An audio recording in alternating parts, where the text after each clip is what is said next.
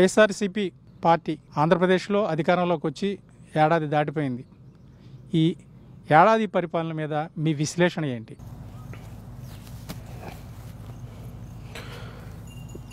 అంటే చక్కగా నూట యాభై ఒక సీట్లు వచ్చి నేను ఈరోజు చెప్పే మాటను ఫస్ట్ మేము ఆ ఎలక్షన్ రిజల్ట్స్ వచ్చిన మాట కూడా ఒకటే చెప్తా ఉన్నాను దేవన్ నుంచి కూడా. నూట యాభై ఒక సీట్లు వచ్చి ఇంత అత్యధిక మెజారిటీ వచ్చి చాలా బలమైన స్థిరత్వం ఇవ్వగలిగేంత శక్తి ఉంది శక్తి సమర్థత ఉంది ప్రభుత్వానికి. అలా కాకుండా వాళ్ళకున్న బలాన్ని పొలిటికల్ వెండట్టా కోసం లేదంటే కొన్ని గ్రూపులకే పనిచేసి కొన్ని ఓట్ బ్యాంక్గా చేయాల్సిన అవసరం లేదు. నిజంగా ఇది భగవంతుడిచ్చిన వరం వైసీపీకి దాన్ని సద్వినియోగం చేసుకోవట్లేదని నా అభిప్రాయం.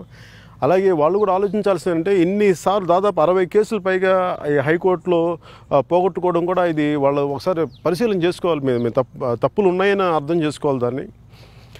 ఇవన్నీ సరి చేసుకోవాలని మనస్ఫూర్తి కోరుకుంటున్నాను. ఎందుకంటే ఇది ఇప్పుడు ఎవరు వచ్చి కూర్చునే ఎలక్షన్స్ కావు ఇది. ఉన్న ప్రభుత్వమే చాలా ప్రజలకు చాలా స్థిరమైన జీవన విధానం ఇవ్వాలి. గత ప్రభుత్వంలో ఉన్న తప్పొప్పులన్నీ వాళ్ళు సరిదిద్ది చేసే అవకాశం ఉన్నప్పుడు దాన్ని వాళ్ళు సద్వినియోగం చేసుకోకుండా ఇది ఒక పొలిటికల్ వెండేటా కింద మారిపోతుంది అనేది నాకు ఆ భావన ఉంది. ఆంధ్రప్రదేశ్లో అప్పులు ప్రమాదకర రీతిలో ఉన్నాయని క్రెడిట్ రేటింగ్ సంస్థ లెక్కలు చెబుతున్నాయి. రుణ జిఎస్డిపి నిష్పత్తి ముప్పై నాలుగు పాయింట్ ఆరు శాతం ఉందని ఇది ప్రణాళికా సంఘం నిబంధనల కంటే చాలా ఎక్కువని నిపుణులు చెప్తున్నారు అప్పులు మూడు లక్షల నలభై ఒక్క వేల రెండు వందల డెబ్బై కోట్లు దాటాయని అంటున్నారు. దీన్ని మీరు ఎలా విశ్లేషిస్తారు? అంటే దీనికి ఈ పెద్ద మామూలుగా ఒక సగటు మనిషికి అర్థమయ్యేలా కావాలంటే ఇప్పుడు మనం సంపాదించే దానికంటే కూడా అప్పులు ఎక్కువ ఉన్నప్పుడు ప్రశాంతత సుఖం ఎక్కడి నుంచి ఉంటుంది? అంటే మనం ఒక ఒక ఉదాహరణకు ఒక చిన్న కుటుంబం తీసుకుంటే తండ్రి అప్పులు చేసి పిల్లల్ని పెంచుతున్నప్పుడు ఎక్కడి నుంచి వస్తుందో తెలియదు పిల్లలకి. కానీ ఒక రోజున తండ్రి చేతులు ఎత్తేస్తే అది పిల్లల మీద భారం పడుతుంది అలా తీసుకుంటే అలాంటిది ఒక రాష్ట్ర ప్రభుత్వం బాధ్యతగా ప్రభుత్వం ఇంతమంది ముఖ్యమంత్రి నేతృత్వంలో ఇవన్నీ జరుగుతున్నప్పుడు నిజానికి గత ప్రభుత్వంలో ఈ తప్పులు ఉన్నాయి వీళ్ళు ఎక్కువ అప్పులు చేసేసారు అవి జరగకుండా చేసుకోవాలి. అలాగే అసలు ముందు ఆదాయం పెంచే మార్గాలు వెతకాలి కానీ ఆదాయం పెంచే మార్గాలు కాకుండా అప్పులు పెంచే మార్గాలు వెతికి దాని అభివృద్ధి అంటే దాన్ని ఇంక మనం ఏం చేయలేం. దీనివల్ల ఏం జరుగుతుందంటే ప్రభుత్వాన్ని నడిపే వ్యక్తులకి ఏం అవ్వదు కానీ రాబోయే భావితరాలకి లేదంటే ఇప్పుడున్న వాళ్ళు కూడా ఈ రాజకీయ నాయకులు డబ్బులు సంపాదించడం కోసం వీళ్ళ జీవితాలను పణంగా పెట్టి ఎందుకో మా జీవితంలో అభివృద్ధి రాదు అనుకుంటారు అంతే. ఎందుకు రాదంటే దీనికి రాదు అప్పులు ఎక్కువ ఉన్నాయి. అందువల్ల మనకు కావాల్సిన విద్యా వ్యవస్థ సరిగ్గా ఉండదు లేదంటే హాస్పిటల్ వ్యవస్థ సరిగ్గా ఉండదు లేదంటే పరిశ్రమలు రావు ఉపాధి అవకాశాలు రావు. అందుకని మనం ఎప్పుడు కూడా కింద అణ అణగారిపోయి ఉంటాం. కానీ మనల్ని నడిపే రాజకీయ వ్యవస్థ మటుకు చాలా బాగుంటుంది. ఎందుకంటే వాళ్ళ చేతుల్లో పోయేది వాళ్ళ సొంత ఆస్తులు కాదు. వాళ్ళు తీసుకొని బయట నుంచి అప్పులు తీసుకుంటారు ఇచ్చేస్తారు. ఇక్కడ ఉన్న రా- మన ఉమ్మడి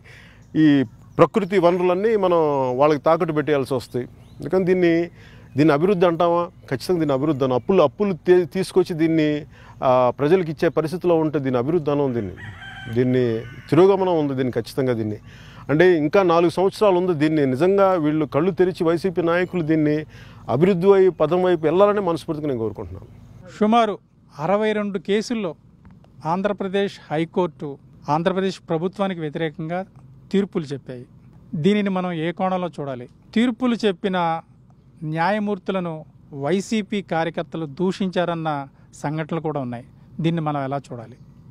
అంటే ముఖ్యంగా అంటే ఈరోజు కేసుల విషయంలో ఇవన్నీ చూస్తే అంటే దీన్ని అంటే మనం దీన్ని అర్థం చేసుకోవాల్సింది ఏంటంటే నా కేసులను బట్టి ఇవన్నీ చూస్తుంటే ఈ సమాంతర వ్యవస్థలు పోలీస్ వ్యవస్థ మిగతా ప్రభుత్వాన్ని నడిపి అధికారులు వ్యవస్థ కానీ రెవెన్యూ వ్యవస్థ కానీ ఇవన్నీ కలిపి వీళ్ళు కూడా ఒక పార్టీ ఏ పార్టీ అయితే నడుపుతుందో రాష్ట్ర ప్రభుత్వం వాళ్ళు కూడా అదే దాదాపు వాళ్ళలాగే ప్రవర్తిస్తూ ఉంటే ఇది ఖచ్చితంగా ఇది మరి కోర్టు దానికి కా- కామ్గా చూస్తే ఎలా ఉంటుంది. ఇంకా కోర్టులు ఇంకా దానికి ఇండివిజువాలిటీ ఉంది కాబట్టి ఇంకా కొంత ఇంకా కొద్ది గొప్ప ఒక న్యాయం జరుగుతుంది ప్రజలకి. ఏదైనా కష్టం నష్టం వచ్చినప్పుడు ఇది సరి చేసుకోకపోతే మటుకు నిజంగా ప్రజాగ్రహానికి చాలా బలమైన ప్రజాగ్రహానికి గురి కావాల్సి వస్తుంది. ఎందుకంటే ప్రజ ప్రజలు ఎదురు తిరగట్లేదు ఏం మాట్లాడట్లేదు అని అనుకోవటం ఎవరైనా పొరపాటు. ఎందుకంటే బ్లాక్ లైవ్స్ మ్యాటర్ అనే ఒక చిన్న ఇష్యూ మనకి ఈరోజు చూసారు మనం ప్రపంచాన్ని కుదిపేసింది అమెరికాలో జరిగిన ఈ ప్రొటెస్ట్లు ముఖ్యంగా పోలీస్ వ్యవస్థ ఒక పార్ ఒక అధికార పార్టీకి కానీ కొమ్ము కాస్తే లేదంటే ఒక విధానానికి కొమ్ము కాస్తే దాని పర్యావసానం ఎలా ఉంటుందో అగ్రరాజ్యమైన అమెరికాలోనే మనం చూసాం ప్రజలు రోడ్ల మీదకి వచ్చేసి ఇంకా అసలు ప్రభుత్వాన్ని పోలీసులకు అందించే నిధులే తీసేయాలి అసలు పోలీస్ వ్యవస్థ ఉండకూడదన్నంత కోపం అక్కడ ప్రజల్లో ఉంది అంటే ఇక్కడ ఇంత బలంగా ప్రతి ఒక్కరిని కూడా ఇబ్బంది పెట్టేస్తుంటే అలాంటి పరిస్థితులు ఇక్కడ రావని ఎందుకు అనుకుంటారు?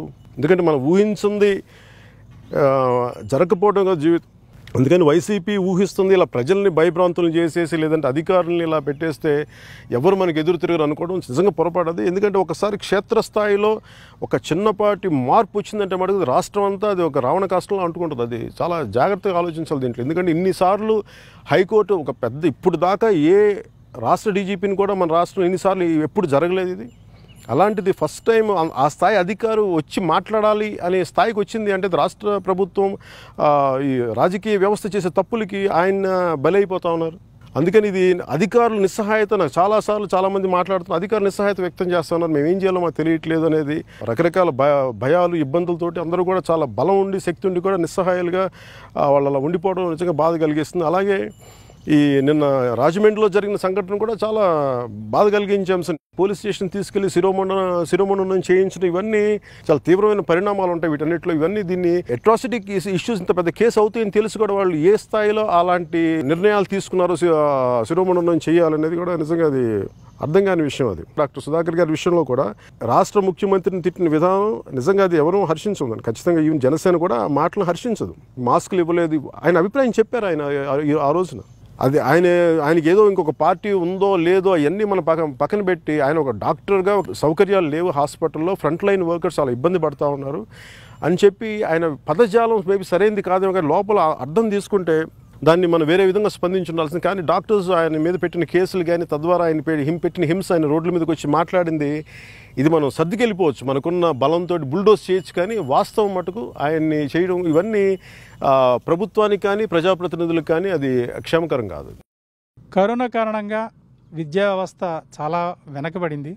కార్పొరేట్ పాఠశాలలు ఆన్లైన్ తరగతులను ప్రారంభించాయి. ప్రభుత్వ పాఠశాలలు అయితే అసలు ఆ ఊసే లేదు. దీనిని మనం ఏ విధంగా అర్థం చేసుకోవాలి? నేను నా పిల్లలు చదువుకున్నారు కాబట్టి నాకు ఇది చాలా అంటే ఇందులో ఈ ఈ ప్రశ్నలో నాకు కూడా చాలా స్వానుభవం ఉంది దీంట్లో ఈ మధ్యన. అంటే దీనిలో రెండు రకాల సమస్యలు ఉన్నాయి. ఒకటి ఆర్థికంగా కొంత ధనబలం ఉన్న స్కూల్స్ ఏమో అట్లీస్ట్ ఆన్లైన్ క్లాసెస్ నడపగలిగే ఉండి దాని నుంచి వచ్చే ఉత్పన్నమయ్యే సమస్యలు వేరు. అదొక పద అదొక ఇష్యూ ఉంది. ఖచ్చితంగా ఒక విద్య ఒక ఒక విద్యా సంవత్సరం పోతుంది అనేది నాకు అనిపిస్తుంది ఈవెన్ ఆన్లైన్ క్లాసెస్ ఉన్నప్పటికీ. మొదటి నుంచి నేను చెప్పేది ఏంటంటే ఇది ఎవరు ఊహించని పరిణామం ఇది. ఇది ఒక విపత్కర కాలం ఇది. దీంట్లో కూర్చోబెట్టి ఇది ప్రతిదానికి వీళ్ళు చేయట్లేదు చేయలే. అనేకంటే కూడా అసలు ముందు రాష్ట్ర ప్రభుత్వం నుంచి ఈ విద్యా వ్యవస్థలో ఈ ఇబ్బందులు ఉన్నాయి.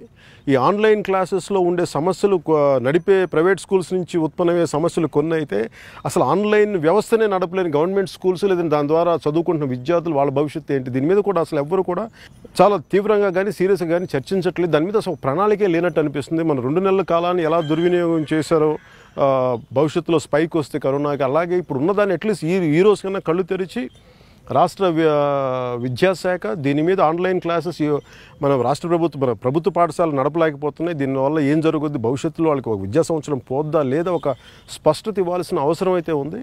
ఆన్లైన్ క్లాసెస్ నడిపే ప్రైవేట్ స్కూల్స్లో కూడా పిల్లలు అంతసేపు ఆన్లైన్ కంప్యూటర్స్ని చూడలేకపోతాం దాని వాళ్ళకు సపరేట్గా అదొక ఆరోగ్య సమస్యలు వస్తూ ఉన్నాయి. అది నేను కూడా నా పిల్లల దగ్గర నేను చూస్తూ ఉన్నాను అది.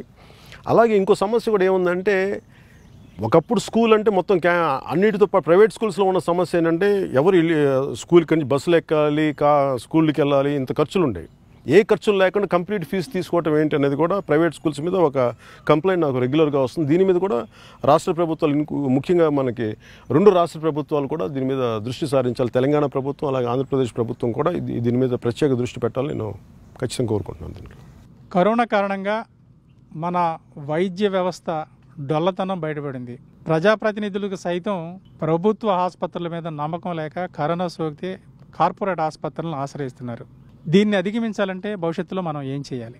అంటే ఇది ఫస్ట్ ముందు నుంచి కూడా భారతదేశంలో ఉండే వైద్య వ్యవస్థ ఎప్పుడు కూడా దానికి సంపూర్ణమైన బలం చేకూర్చలేదు. అది అది ఇండిపెండెంట్గా పనిచేసే వ్యవస్థగా దాన్ని మార్చలేకపోయారు. ఎంతసేపు దాన్ని కూర్చోబెట్టి అది ఒక ఒక ట్రాన్స్ఫర్లకు లేదంటే ఒక ఒక చిన్నపాటి అటు కంప్లీట్ హెల్త్ సెంటర్స్గా దాన్ని ఒక ఏదైతే నిర్దేశింపబడిందో ఈ వైద్యశాల వాటికైతే సంపూర్ణమైన ఒక ప్రైవేట్ సూపర్ స్పెషాలిటీ హాస్పిటల్స్ ఎలా పనిచేస్తాయో భారతదేశంలో అలాగే ఇంగ్లాండ్లో గవర్నమెంట్ హాస్పిటల్స్ ఎంత బలంగా పనిచేస్తే అలాంటి వ్యవస్థను అయితే మనం తీసుకురావడంలో గత దశాబ్దాలుగా విఫలమయ్యాం.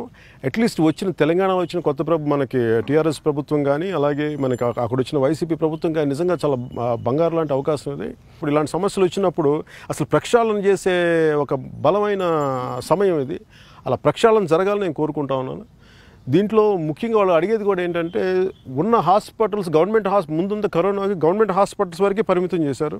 కానీ సరిపోవట్లేదు. దీన్ని ప్రైవేట్ హాస్పిటల్స్ కూడా ఈ ఫెసిలిటీస్ మరింత విస్తృతంగా వర్తింపజేయాలి. దీన్ని ప్రైవేట్ హాస్పిటల్స్ కూడా మనకి పేషెంట్స్కి మరింత బాగా ట్రీట్ చేసే వాళ్ళకి గవర్నమెంట్ నుంచి ఆ పర్మిషన్స్ రావాలనేది కూడా నాకు చాలా బలంగా వినిపిస్తూ ఉంది. ముఖ్యంగా తెలంగాణ నుంచి అయితే నాకు చాలా మూలల నుంచి నేను రెండు మూడు సందర్భాలు చెప్పాను కానీ ముఖ్యంగా తెలంగాణ ప్రభుత్వానికి కూడా నా విన్నపోయిన చాలా నాకు నివేదనలు అందుతూ ఉన్నాయి. ఇలా కూర్చోబెట్టి ఇక్కడ కరోనా గురించి చాలా సమస్యలు ఉన్నాయి. మాకు మీరు దయచేసి మీరు టీఆర్ఎస్ ప్రభుత్వం తెలియజేయండి అంటే నేను దాన్ని దాన్ని తీసుకొని చెప్తాను. తెలంగాణ ప్రభుత్వం కూడా దీని మీద మరింత దృష్టి సారించాలని మనస్ఫూర్తిగా నేను కోరుకుంటున్నాను. కరోనా వంటి మహమ్మారులు విజృంభించినప్పుడు ప్రభుత్వ బాధ్యత ఎంత ఉంటుంది? పౌరుల బాధ్యత ఎంత ఉంటుంది? మీరు ఏ కోణంలో దీన్ని చూస్తారు? ప్రధానమంత్రి గారు కరోనా అనేది చాలా పెద్ద ఇష్యూ ఇది. మనకి అందరం లాక్డౌన్ ప్రకటిస్తున్నాం ఆయన ఆ సీరియస్నెస్ దేశాన్ని అందరికీ వచ్చింది. ఇన్ని కోట్ల మందిని ఒక బిలియన్ పీపుల్ని ఇన్ని వంద కోట్ల పైగా ఉన్న ప్రజల్ని నిజంగా అందరూ ఆగిపోయారు. అంటే నాయకత్వం నిజంగా బలంగా ఉంటే ప్రజలు వింటారు. అలా కాకుండా ఒకరు మన అటు సైడ్ ఆంధ్రప్రదేశ్ తీసుకుంటే ఇది చిన్న ఫ్లూ లాంటిదంటే అదే ఆలోచన విధానం కింద స్థాయి వరకు కూడా వస్తుంది. ఇది ఇప్పుడు ఏమైపోయింది? ఈ రోజున చేతులు గాలేక ఆకులు పట్టుకోవడం లాంటిది అయిపోయింది. ఈ రోజున అందరూ కూడా ఆ- ఆ నిబద్ధత కోల్పోయి ఈ రోజున మరింత మనకు దాదాపు ఏడు వందల మంది ఏడు వందల పైగా చనిపోయారు మనకి ఆంధ్రప్రదేశ్లో. రాష్ట్ర ప్రభుత్వం ఫస్ట్ ఆలోచన విధానం వాళ్ళు చెప్పి దాన్ని హ్యాండిల్ చేసిన విధానం ఒక తప్పైతే ప్రజల్లో కూడా దీనికి ప్రభుత్వాలు చేయలేనప్పుడు ప్రజాప్రతినిధులు దాన్ని పాటించినప్పుడు ఇంక మనం మనమే బాధ్యత తీసుకొని ప్రజలే బాధ్యత తీసుకొని దీన్ని ఏమైతే ఈ ఫిజికల్ డిస్టెన్స్ ఉందో లేదంటే సా మనకి ఈ సోషల్ డిస్టెన్సింగ్ కానీ సామాజిక దూరం అంటాం దాన్ని రా- శారీరక దూరం అంటాం ఏదైనా కానీ అవి పాటిస్తూ ఇప్పుడు మన ట్రెడిషనల్ మెడిసిన్స్ లేదంటే మన ఆయుర్వేదిక్ కానీ లేదంటే మనకి ఇమ్యూనిటీ బూస్ట్ చేసే కానీ ఈ పరిస్థితుల్లో మనం ఇంక దీన్ని సంసిద్ధత మనం మనకి రావాలి మనం ఎదుర్కోవాలి. ఎందుకంటే ఇంక మనం కేవలం ప్రభుత్వాల మీద ఆధారపడితే మటుకు చాలా ఇబ్బందులు ఉంటాయి అనుకో అత్యవసర కేసుల్లో తప్ప ప్రభుత్వం కూడా చేతులు తీసే పరిస్థితికి వచ్చేసింది అన్ని చోట్ల కూడా. కాపు కార్పొరేషన్తో పాటు వివిధ కార్పొరేషన్లకు కేటాయిస్తున్న నిధులు ఖర్చు పెడుతున్న నిధుల మీద శ్వేతపత్రం ప్రకటించాలని మీరు కోరి ఉన్నారు.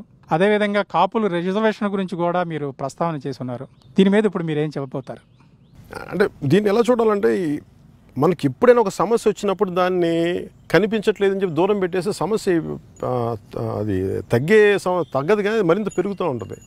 కార్పొరేషన్ అనేది ప్రతి కులంలో ఉన్న ఒక వెన ఆర్థిక వెనుకబాటుతనం లేదంటే కొన్ని చోట్ల ఉన్న సామాజిక వెనుకబాటుతనం వీటన్నిటిని అసరగా చేసుకుని చేసుకొని ఒక కార్పొరేషన్ అనేది పెట్టి దాన్ని అనేక కులాలకి వర్తింపజేస్తారు బ్రాహ్మణ కార్పొరేషన్ ఇట్లా దాంట్లో భాగంగా కాపు కార్పొరేషన్కి వచ్చినప్పుడు కూడా దాంట్లో ఉన్న ఇబ్బందులు ఏంటంటే శ్వేతపత్రం ఎందుకు అడిగామంటే వాళ్ళు విడుదల చేసి మేము కాపులకి లేదంటే మిగతా కులాలకి ఇంత అంటే ఒక్కటి మనం అడిగింది కూడా ఆ రోజున జనసేన అడిగింది అన్ని కార్పొరేషన్లకి బీసీలకు కానీ లేదంటే అన్ని కార్పొ ఎస్సీ ఎస్టీ సబ్ ప్లాన్స్ దగ్గర మన ఫండ్స్ దగ్గర నుంచి అన్ని కార్పొరేషన్స్ ఎందుకంటే నేను పోరాట యాత్రలు వెళ్తున్నప్పుడు ఎస్టీ సబ్ ప్లాన్ మాకు అందట్లేదు. అక్కడ విద్యార్థులు చాలామంది అరకులోకి వెళ్తే ఎవరు మాట్లాడరు. ఎందుకంటే ఒక అబ్బాయి ఒక ఇద్దరు ముగ్గురు కుర్రాళ్ళు సార్ మాకు ఇంత స్కిల్ ఉంది. మేము మాకు ఎస్టీ సబ్ ప్లాన్ ప్రకారం మాకు ఈ ట్రైబల్ వెల్ఫేర్ డిపార్ట్మెంట్ నుంచి ఆ ఫండ్స్ నుంచి మాకు వస్తే మేము ఏదైనా కొంచెం ఒక పోటీలో పాల్గొనడం లేదంటే ఒకటి నేర్చుకోవడం ఉంటుంది. మాకు ఆ ఫండ్స్ లేవు. అవన్నీ డైవర్ట్ చేసి ఎటు వెళ్ళిపోయినాయి అని చెప్తా ఉంటే నాకు అవన్నీ అవగాహనలు ఉన్నాయి. అలాగే ఈ కార్పొరేషన్కి సంబంధించిన ఫండ్స్ అన్నీ ఆ నిర్దేశిత గ్రూప్స్కే ఇవ్వాలి. కానీ రాను రాను ఏమైపోయింది? ఇవన్నీ తీసుకెళ్ళి అంటే వాళ్ళ వైసీపీ లేదా ఇప్పుడున్న రాష్ట్ర ప్రభుత్వం వాళ్ళ పథకాలకి దాంట్లో ఇచ్చేసి ఆ ఫండ్స్ని ఇటు డైవర్ట్ చేసి వాళ్ళకి దానికి అప్లై చేసి అంటే వాళ్ళ వాళ్ళ నవరత్నాలకు దేనికి అప్లై చేసి అది మేము కాపు కార్పొరేషన్ ఖర్చుల కింద పెట్టేయడం అనేది చాలా స్పష్టంగా తెలుస్తుంది. అందుకని మేము శ్వేతపత్రం అడిగాం. కానీ వాళ్ళు ఈ రోజుకి కూడా దాని మీద వాళ్ళు స్పష్టత ఇవ్వలేదు. ఇదే అలాగే కాపు రిజర్వేషన్ల గురించి ఇది రెండు రకాలుగా అర్థం చేసుకోవాలి. ఒకటి కాపు రిజర్వేషన్లు వాళ్ళు ఎలక్షన్స్ టైంలో గౌరవ ముఖ్యమంత్రి గారు చెప్పారు దీని మీద శ్రీ జగన్ రెడ్డి గారు. మేము కాపులకి రిజర్వేషన్ ఇవ్వమని ఖచ్చితంగా చాలా మొహమాటం లేకుండా చెప్పారు ఇబ్బంది అసలు ఏమాత్రం ఇబ్బంది లేకుండా చెప్పారు. కానీ ప్రజలు ఆయన ఓట్లు వేసి గెలిపించారు. కానీ ఈ రోజున మళ్ళీ వాళ్ళు కూర్చోబెట్టి ఈ- రోజు కూడా మళ్ళీ అదే మాట ఇంకోసారి చెప్తే స్పష్టత వస్తుంది ప్రజలకి. మేము లాస్ట్ టైం నేను ఎలక్షన్లో చెప్పినట్టు ఈసారి కూడా వైసీపీ ప్రభుత్వం కానీ ప్రజాప్రతినిధులు అందరూ ఏం చెప్పాలంటే మేము ఎలక్షన్ టైంలో ఏం చెప్పాము మీకు రిజర్వేషన్ ఇవ్వమని అది కూడా మీకు ఇవ్వట్లేదు అనేది ఇంకోసారి స్పష్టం చేస్తే బాగుంటుంది. అలాగే శ్వేతపత్రం రిలీజ్ చేస్తే ఫండ్స్ బాగుంటుంది.